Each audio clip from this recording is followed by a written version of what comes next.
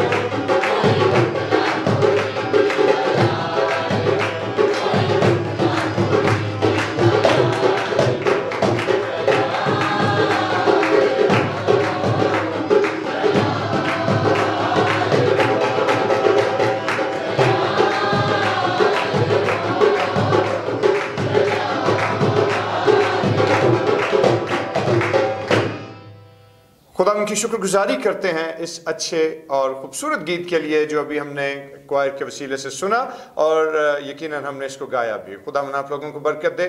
और आइए खुदा उनके पाक कलाम की तरफ़ अपनी तवज्जो मबजूल करें और आज हमारे साथ हमारी बेटी तिमना मौजूद है और आज हम अपनी बेटी के वसीले से खुदा उनके ज़िंदा पाक कलाम की तिलावत कर सुनें हम कलाम मुकदस में से पढ़ेंगे, ज़बूर अकानवे उसकी चौदहवीं आयत। चूँकि उसने मुझसे दिल लगाया है, इसलिए मैं उसे छुड़ाऊँगा। मैं उसे सरफराज करूँगा क्योंकि उसने मेरा नाम पहचाना है। आमीन। खुदा के बुज़ुर्ग कलाम का पढ़ा और सुना जाना, हम सबों के लिए बरकत का बायस रहे। और आइए अपने सिरों को खुदा के हजूर झुकाएँ और दुआ करें। खुदा अजीम बरहक आसमानी बाप, हम तेरा शुक्र बजा लाते हैं। और खुदा हम तेरी तारीफ़ करते हैं कि तू हम दौर तारीफ़ का सरचश्मा है। और खुदा खुदा तमाम तर कुत ताकत, बुजुर्गी और हशमत सिर्फ़ तुझी को रवा है और तमाम तर हमद तुझी से जारी होती है और तेरी ही ज़ात के लिए है। खुदा अजीम, तेरा शुक्र अदा करते हैं और अल्तजा करते हैं कि खुदा तो अपनी हमत और दनाई से हम सबों को शेयर कर और खुदा हमें वो अक्ल, जो यस्सु की अक्ल है खुदा वो अता फरमा ताकि तेरे पाक कलाम पर गौर करें और खुदा इसको अपनी ज़िंदगी का हिस्सा ठहराएँ। अलमसी के नाम में, आमीन। खुदा की तारीफ़ हो दोस्तों। और आज हमने एक बड़ी खूबसूरत आयत जबू नंबर इक्यानवे में से देखी। और जबू नंबर इक्यानवे अपने आप में एक ऐसा खूबसूरत जबूर है कि जो ज़िंदगी के मुख्तलिफ़ पहलुओं में बहुत मानी खेज है। और इस जबूर को हम गाते भी हैं, इसके मुख्तलिफ़ हिस्से हैं, जिनको हम आम तौर पर अपने घरों में और चर्चिस में और मुख्तलिफ़ इबादात में गाकर खुदा उनके नाम को इज़्ज़त और जलाल देते हैं। और मेरे दोस्तों, जिस वक्त हम खुदा के बुज़ुर्ग कलाम पर गौर करते हैं तो यहाँ पर खुदावन के इस पाक कलाम के हिस्से में बड़े वजाहत के साथ ये बात तहरीर की गई है कि चूँकि उसने मुझसे दिल लगाया है, इसलिए मैं उसे छुड़ाऊँगा और सरफराजी बख्शूँगा। और ये बड़ी ही अहम बात है जो आज हम खुदा के ज़िंदा पाक कलाम में से थोड़े देर के लिए जिस पर हम गौर करने को है। और जिस वक्त हमने खुदा के बुज़ुर्ग कलाम को देखा, इसको पढ़ा, इस पर गौर करने को है। तो दोस्तों, इसमें हमें बात अहम क्या दिखाई देती है कि खुदावंद हमें ये बात फरमाते हैं कि चूँकि उसने मुझसे दिल लगाया है और दिल लगाना जो है, यानी मोहब्बत और प्यार और शफकत के ये जज्बात जो हैं, ये इंसानी ज़रूरियात के चंद बुनियादी पहलू हैं जिनके बगैर ज़िंदगी नामुकम्मल और अधूरी है।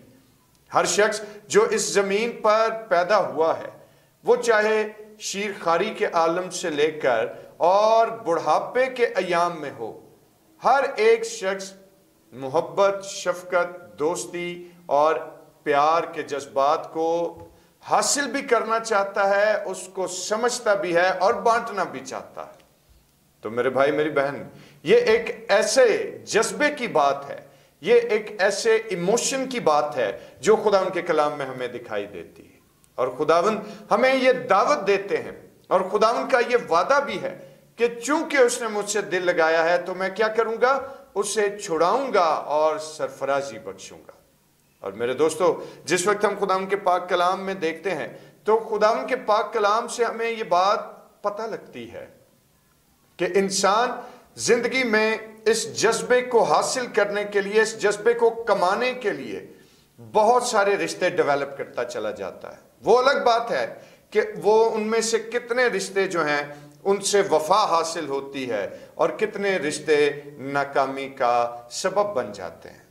लेकिन आज जिस वक्त हम खुदा के पाक कलाम को देखें तो इंसान की ज़िंदगी में एक ऐसा ताल्लुक, एक ऐसा रिश्ता, एक ऐसा दोस्ती का महवर भी मौजूद है कि जिसमें नाकामी के चांसेस जो हैं वो ज़ीरो परसेंट हैं, जिसमें कभी नाकामी नहीं होती।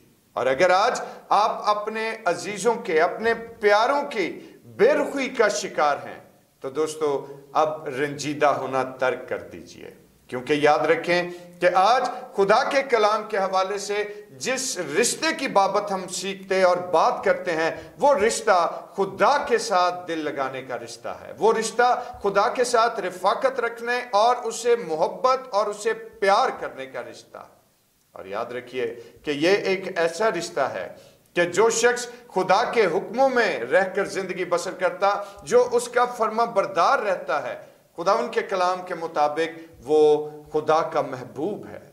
और जो खुदा का महबूब हो दोस्तों, फिर हम ये जानते हैं कि उसकी मानंद और कौन हो सकता है। कौन है जो उसकी सरफराजी उससे छीन ले? कौन है कि जो उसको बेड़ियों और जंजीरों में बाँध सके? ये यकीनन इंसान के बस की बात नहीं है। क्योंकि खुदा अपने महबूब को नींद ही में आसुदा कर देता है। खुदा अपने महबूब की कदर करता है। खुदा अपने महबूब को हमेशा प्रोटेक्शन के हाथ के नीचे रखता है और इस बात के लिए हम खुदा का शुक्र अदा करते हैं, क्योंकि यह खुदा का वादा है। ये बरकत है खुदा की, और ये खुदा की उस मोहब्बत का रिएक्शन है कि जो शख्स खुदा से दिल लगाता है, जो शख्स खुदा से प्यार करता है, जो शख्स खुदा से उल्फत के जज्बात का इजहार करता है तो खुदा क्या कहता है कि मैं उसे छुड़ाऊँगा और उसे सरफराजी बख्शूँगा। और याद रखिए कि सरफराजी जो है, वो ना शुमाल से है, ना जनूब से, बल्कि वो खुदा के आसमान से इंसान को हासिल होती है। और मेरे भाई, मेरी बहन, अगर आज हम इस सारी सूरत हाल को देखें तो मोहब्बत और दोस्ती, उल्फत और शफकत का ये रिश्ता मसीह खुदावन से बेहतर इस ज़मीन पर रहते हुए किसने निभाया होगा? और अगर हम मसीह की ज़िंदगी को देखें तो जिन्होंने मोहब्बत और प्यार के जज्बात की इंतहा कर दी, कि हम जैसे खताकारों और गुनहगारों और कमजोरों की खातिर वो मसलूब हुआ और उसने अपनी मोहब्बत का इजहार हमारे लिए जान देकर किया। तो दोस्तों, ऐसा दोस्त, ऐसा प्यार करने वाला शख्स हमें और कहाँ मिलेगा? आज मुश्किल है कि माँ बाप भी अपने बच्चों के लिए इस कदर कठिन तकालीफ गुजारें। लेकिन आज मेरे भाई, मेरी बहन, एक ऐसा वाज रिश्ता आज हमारे लिए दरवाज़ा खोले हुए पुकारता है। कि चूँकि इसने मुझसे दिल लगाया है, इसलिए मैं इसे छुड़ाऊँगा और सरफराजी बख्शूँगा। तो आइए, आज हम अपना रिश्ता खुदा की जात से जोड़ें। आज हम अपना रिश्ता अल मसीह से मज़बूत करें कि उस जैसी मोहब्बत, उस जैसा प्यार हमें कहीं और नहीं मिल सकता। और याद रखिए कि मसीह का दिल हमेशा हमारे लिए मोहब्बत से सरशार ही रहता है। और अगर आप मुकदस यूना रसूल की मार्फत लिखे गए इंजीली बयान के पंद्रहवें बाप की पंद्रहवीं आयत को पढ़कर देख लें तो खुदावन यसु मसीह का कौल मुबारक वहाँ पर हमें दिखाई देगा। और वो कौल क्या है कि अब से मैं तुम्हें नौकर ना कहूँगा, बल्कि क्या है कि मैंने तुम्हें दोस्त कहा है। तो दोस्तों, दोस्तियाँ तो हम बहुत सही करते हैं, लेकिन वो कितने दोस्त हैं जो वफा करते हैं। वो कितने दोस्त हैं जो वफा के इस रिश्ते को मनोअन बढ़ाते और उसमें साबित कदम रहते हैं।